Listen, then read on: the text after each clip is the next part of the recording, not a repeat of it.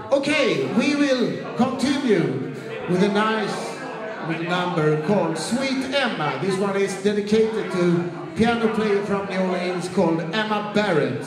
And it's composed by the trumpet player Nat Adderley, the little brother of alto saxophone player Cannonball Adderley.